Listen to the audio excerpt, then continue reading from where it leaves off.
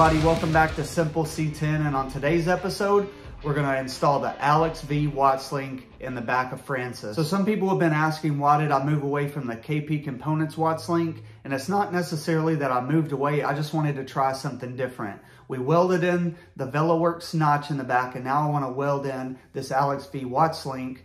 One of the main reasons I'm trying the Alex V Watts link this time is I like the design, but also the price point. You're sitting at around $300 compared to 500 plus shipping with the KP Components Watts link. Also, the KP Components Watts link was really created to go with the KP step notch. So if you're not running the step notch, then you have to do some fabrication and it's not gonna bolt right in. And that kind of defeats the purpose of a bolt-in Watts link if you're gonna have to weld it or fabricate it anyway.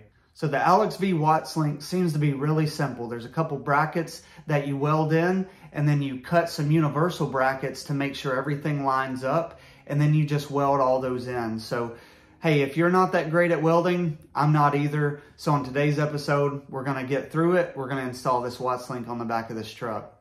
So this Alex V Watts link is gonna come with all the hardware you need, the different brackets that weld into the side of the frame. If you get this upgraded heim joint setup, then you're going to get these little spacers that go on there, all the bracketry that you need, the little rubber pieces that go in to the actual Watts link so everything runs smooth. Okay, I'm going to run through kind of how this works. So this bracket is going to mount to the back of your rear end. These little tabs are going to weld into your rear end and it's going to bolt on. So what I'll do is go ahead and bolt these tabs on there and then I'll line everything up and tack these on with the whole thing kind of bolted together so I know the thickness to space these out right here. So once this is bolted on to the rear end, then these little tabs are going to go on here like this. And this is where these bolt on, just like that in the middle. So what it's doing, it's kind of like having two panhard bars. When one works one way, it pushes the other the other way and it keeps your rear end centered at all times.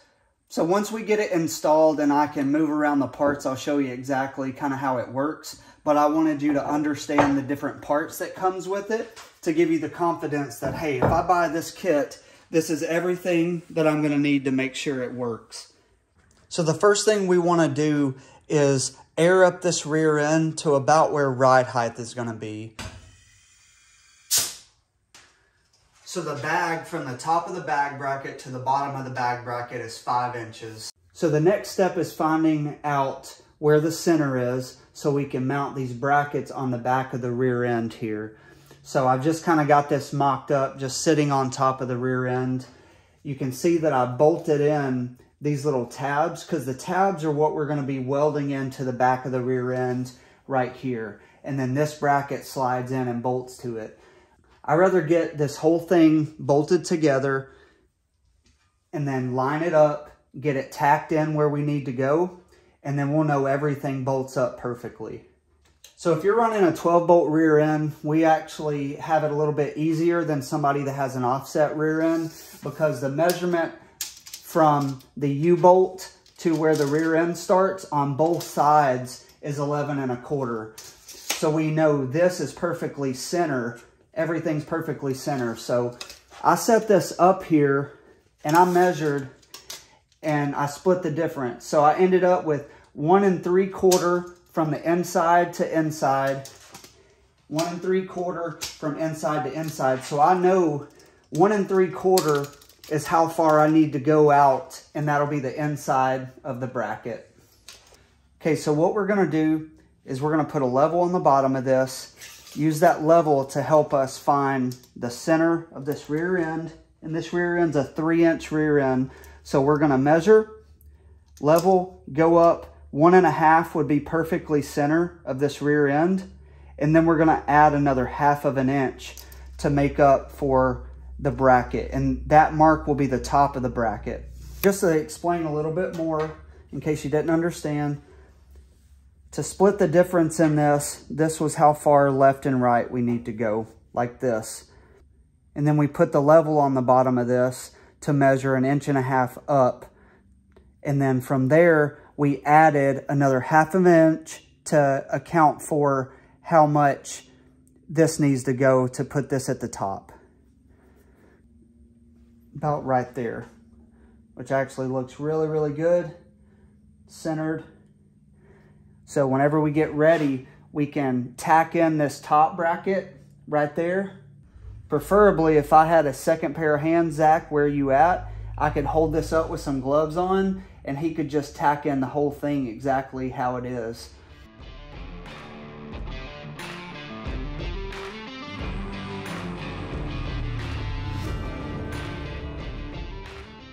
As you can see, I kind of got this rigged up a little bit to hold it for me. Um, this is the best that I could do with this long clamp, kind of at an angle. I've got two magnets holding the side in. Now it's barely in there, but if I can get that top tacked in, um, that'll work uh, right now since I don't have an extra set of hands. I'm gonna try to get it tacked in just how we have it here. I'm gonna put a level on it, make sure everything is level. The angle of it looks really good from the side. I put the side pieces on here. The top bracket's gonna be about right here, level, so that's great.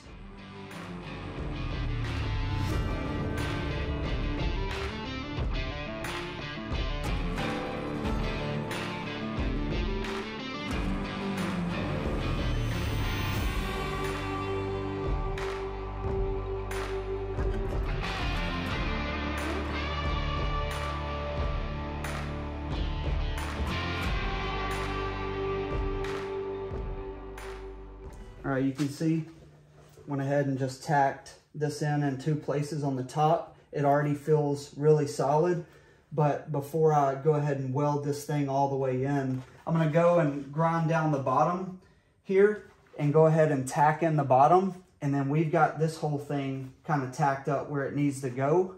Then I can go ahead and mount the side piece and we can get the side pieces tacked in where they need to go and kind of have the overall structure of this thing where we need it, and then we can come back and weld everything in really good.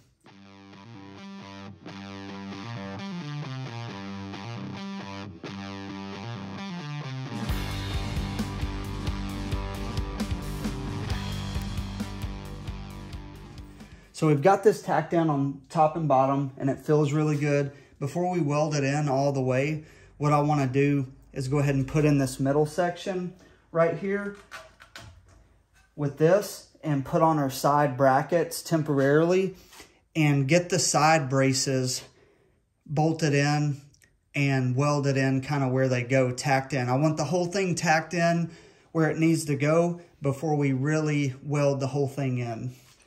I went ahead and put these rubber bushings in here and then put in the metal bushing that goes in the middle. And now I'm gonna put on these two brackets on both sides. So I just kind of got this hand tied in here to give you an idea. Those bars are gonna connect to the middle of this. Those spacers will go in between and then those link bars will go, one will go over here and mount in and then the other will go below the frame and mount in. So when you go up, it's going to move the bars up. When you go down, it's going to move them down. We're at ride height right now, so what I want to do is have those bars level straight across on the top and on the bottom. And that's that's going to allow us, when we go down, the bars will be uneven. And then when we hit ride height, they're going to be even. So when you go up and down, what it's going to do is going to push one way or the other, but keep the rear end centered. That's kind of how a Watts link works, is when you go up, if the panhard bar pulls this way, then it's going to push the other side the other way. So no matter where it's at, that rear end is going to stay centered. With a panhard bar mount, if you had the, the bar mounted over here into the rear end, at ride height, you could have it perfect, but if you go all the way up, that rear end might kick over a half of an inch. And then when you go down, it'll try to kick over because it has one pivot point that is pushing to try to keep that rear end centered. But with a Watts link, it keeps it centered because there's a bracket going to both sides of the frame that then keeps it centered. So that's kind of how it works. What I'm gonna do now is get those link bars go ahead and install those and then attach the little brackets that weld onto the frame just to kind of eyeball it. Let's see what we got, see what it's going to look like, and make sure we're doing everything good. So here's the parts that we have left. We've got the two bars. We've got the driver's side mount that's going to go on the bottom of the frame. We can cut this to any length that we need to weld to the bottom of the frame. Then we have these brackets. These brackets are going to go on the side of the notch, the upper bracket. This is going to bolt in to the part that we just put on there, the same that goes here. So we're going to take a pair of these, and they're going to go on both sides of this, just like that right there. We're going to go in, and this is what's going to mount in between that bracket that we just put on. And then a bolt will go through here, so then there's flexibility. It's going up and down. So let's go ahead and do that and see what we got.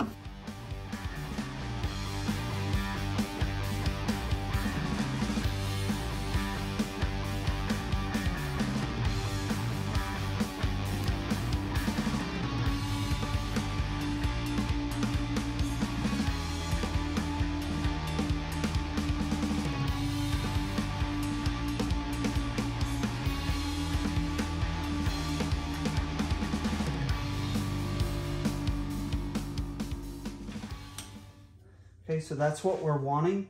What we're gonna do is we'll use that side bracket. I got it right here, actually. We'll cut this side bracket down. I'll measure from center of the eye to the actual notch itself, and then we'll cut this. Then we will get it level. We'll put a level on this bar right here, and then we will make a mark, and then we'll go ahead and tack this bracket into the notch and this is gonna be on both sides to hold this like that. So I'm gonna make this bracket a little bit shorter than what we need because we have adjustment out. All right, so as you can see, we got this installed on here and got these installed.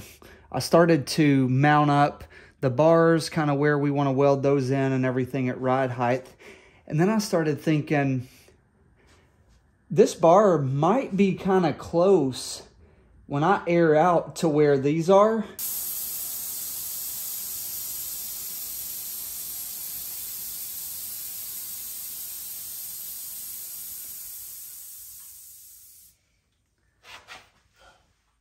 Uh-oh. So as you can see, this bar is going to go directly on to where this bolt's on. So the first thing I thought is, maybe I could move this bar up. Well, it's up about as far as you can go. And then I was thinking, well, maybe I'll just cut this bar out.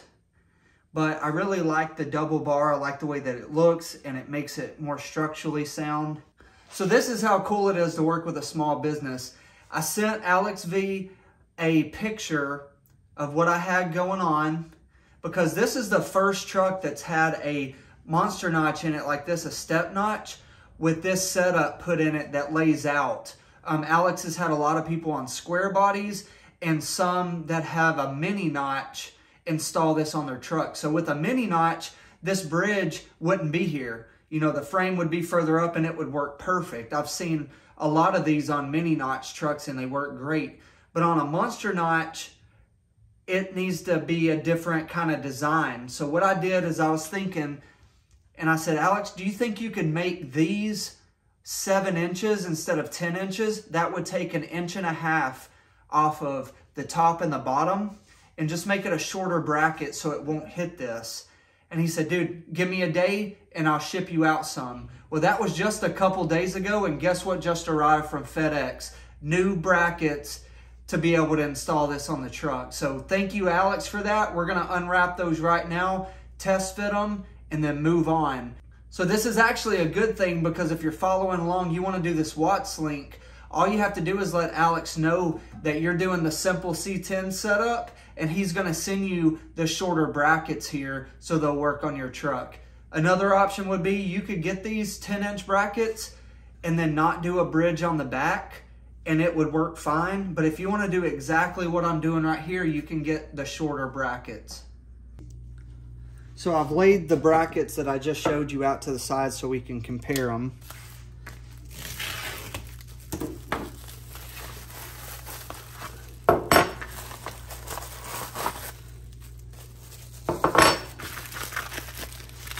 Oh, sweet. He's got some new keychains. Those are awesome. C10 specific. Thank you for those. That's sick. So normally the kit is going to come with these 10 inch brackets and now I requested him to send me a 7 which is going to be about an inch and a half shorter on the top and bottom. That way that bar doesn't hit it. So this is what's really cool about working with a small business. You can reach out to the designer and the fabricator and Alex is all those things. He runs the business himself on the side and you can say, hey, this is the situation that I have. What can I do to fix it? And he comes up with a whole new design. Let's go ahead and install these shorter ones on the truck and start mocking up where the brackets are gonna go.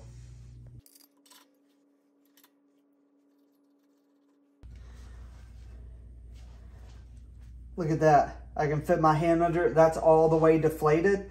So that is awesome. That's gonna work out great. This even looks, I like how it looks condensed down with the smaller brackets. I really love how this looks now. Um, I'm excited. All we have to do is we'll go ahead and mount those bars back to here and we will put this back at the ride height now that we know it's not gonna hit.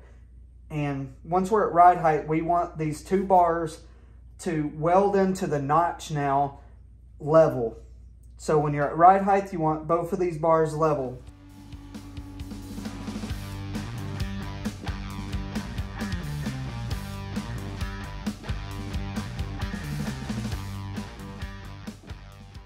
I've got this bracket right here level, straight up and down where we want it. I've got this at ride height. So everything needs to be level at the ride height right here. Okay, so I got this bar level, and this is just kind of close to where it's going to be because all we're measuring is from the notch to the eye, to the middle of the eye here.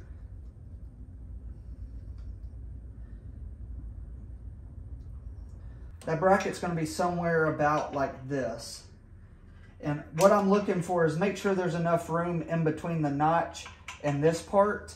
That way this part's not grinding against the notch. I'm gonna measure from the middle of this out, we'll make a mark and we'll cut this bracket down on both brackets. Then we'll bolt the both of these brackets in here. Then we'll hold them up to the notch, put the level back on it again, and mark where these need to be welded in once we get them cut down.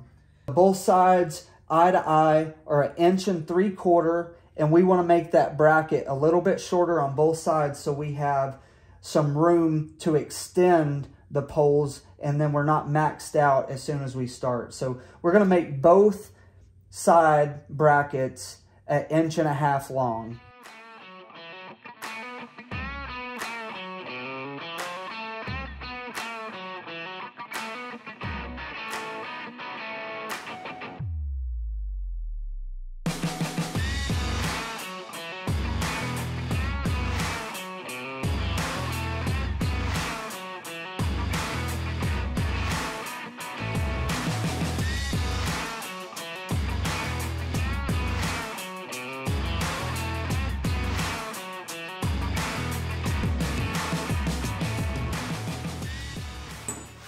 These are the bars that come with the original kit. Remember that Alex V's kit is a universal kit. A lot of people use it on square bodies. Some have used it on mini notch trucks. But I believe this is the first 60s model truck with a step notch that it's been installed on. So what we're going to do here, we need these to look exactly like these. You won't need this step down.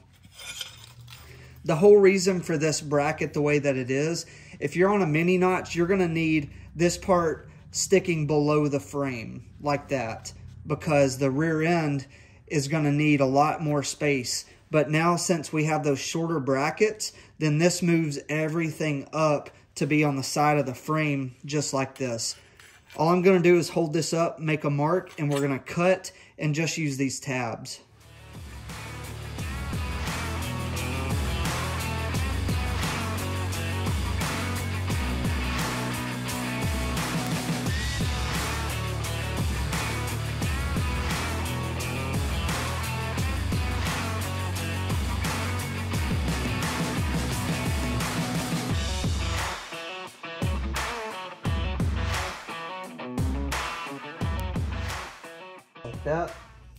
Where they're tight and kind of you can move them together. And that's perfect. See how there's a quarter of an inch in between the frame and the bracket. That's what we want because we can adjust these bars out. See how I'm twisting them together? And it's gonna put pressure on that. So now it's already in there, it's got some pressure. So by just tighten them up, it pushes against, and that's what we want. Now we can level up this bar, make sure this is where we need inside to outside so it's straight here. And then we can come in and mark where these need to go. I'll grind down the paint on this so we can weld it and we'll be able to tack this in. I'm gonna go ahead and do this other side the same way and look at it, get a good look at it, get a one eye on it, you know, really make sure everything's uh, where it needs to be. And then we will grind it down, do this one more time, mark it, and I'm excited. We're gonna have a Watts link here in a minute. This is what we're looking for right here. So I don't have anything welded in yet. All I did was get these brackets very close to where I want them to be. And then I twisted out on them to add pressure. And I did that to both sides to kind of get them in there tight. And that gives me just enough pressure to put a level on it, to move them up everywhere that I need it, to make sure inside to outside that they're level. Kind of, you can use this bar as a reference. And these are right on where the bar is, right on where the bar is. And it's looking really good.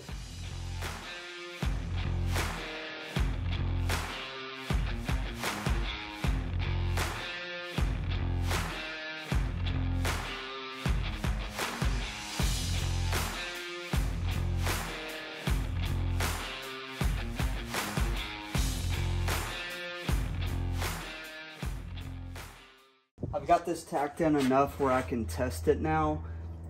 So ideally what you want, we're sitting at ride height right now. And what you want is you want these two bars to be pretty much even and this to be straight up and down like this. As you can see, this bar is slightly down just a little bit. And I did that on purpose because when I had it straight out and tacked in, whenever I aired the truck up to the full max capacity, this bar was really close to this right here when it angled up. So I needed to drop it down about another inch. That way, when I air the truck all the way up, there's plenty of clearance in between here. And I'll show you that right now.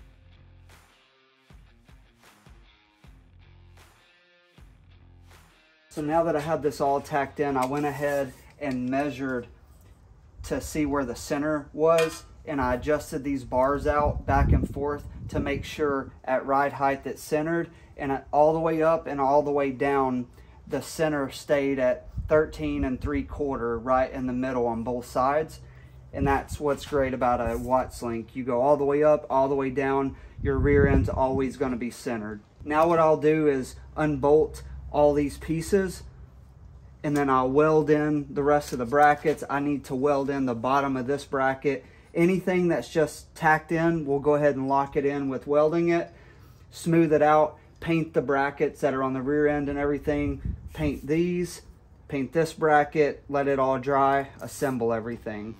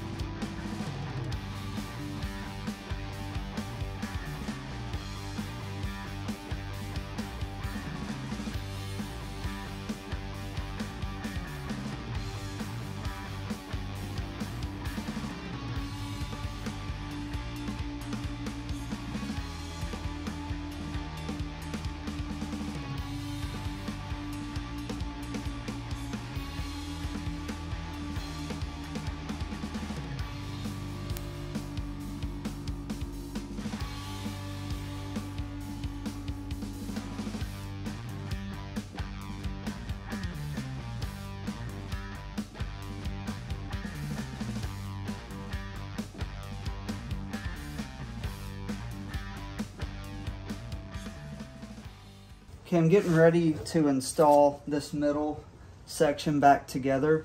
And something that I talked to Alex about is, does this need greased? And he said he greases everything, even the bolts that go in just a little bit. That way there's not any squeaking because remember, these parts are going to be going up and down. They're going to be moving around all, uh, all the time. So I'm going to go ahead and use some grease. What I'm going to use is some high temp grease. This is what I use for my disc brakes. So I'm just going to put a little of that on the bolts all over this section here.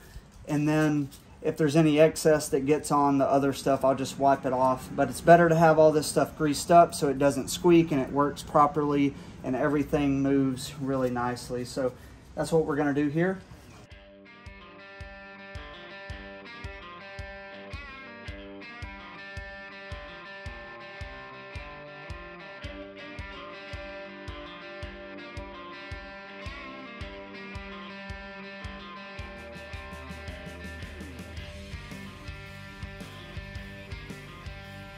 Put the bars on both sides, get those bolted in, then we'll connect them to the Watts link. And I'm gonna be using the grease on all the different pieces that are gonna connect together and move.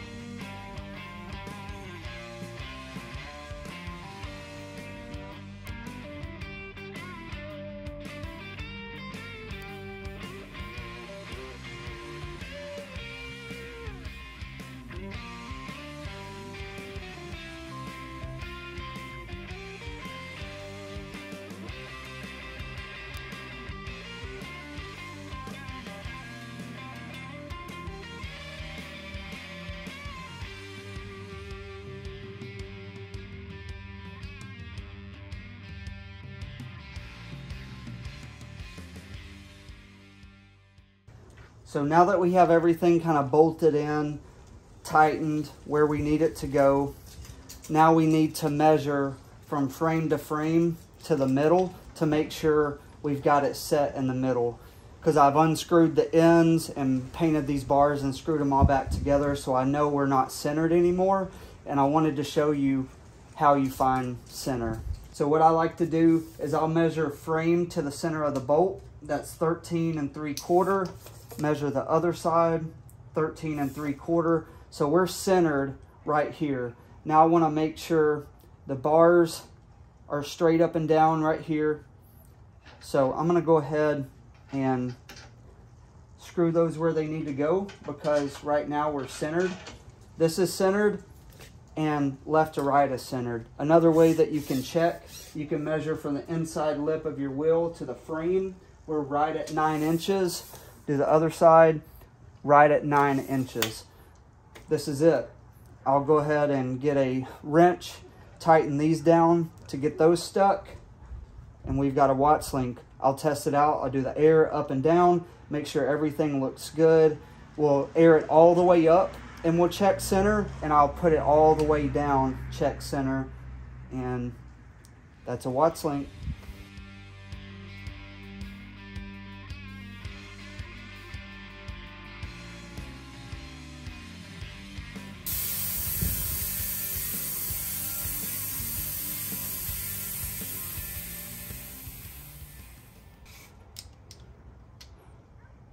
13 and 3 quarter. Go to the frame. 13 and 3 quarter. Perfect. As you can see, this tilted, and that's what it's supposed to do because when you go all the way down, it is flexing to be able to go all the way down and still stay centered. At ride height, it's going to be perfectly up and down with the bars almost parallel but all the way down, it's going to twist this way and it adjusts both ways and keeps that rear end perfectly center. You can see the seven inch bar now. We've got a hand width right here before the bridge. So this is the perfect design. Thank you, Alex, for getting that squared away. Let's go ahead and air it all the way up and see if we're at center now.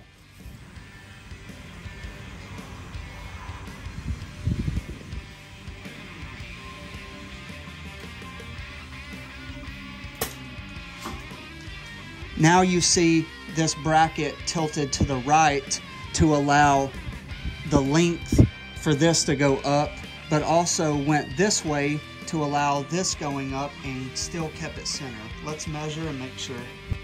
13 and 3 quarter.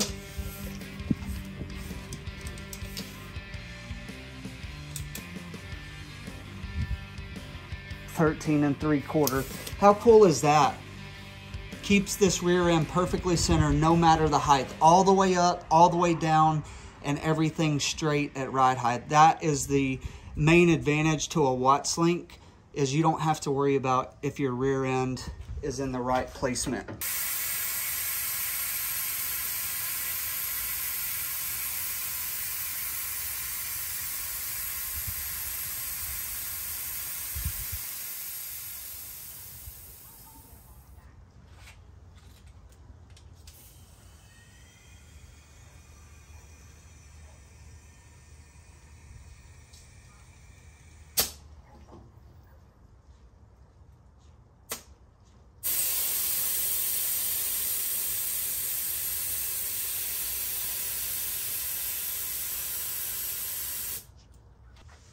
Right there is where ride height is again. Straight up and down.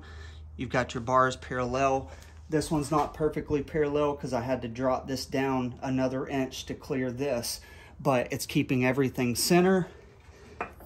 It's gonna have nice ride to it. I'll add the shocks on there later on. That's the next step. I wanted to give another shout out to Alex V Metalworks. Thank you so much for sending this Watts link for me to try out. Thank you for being quick to get the smaller bracket. That way I can make sure all the followers of Simple C10 have exactly what they need if they're following the builds that I do. So thank you for that.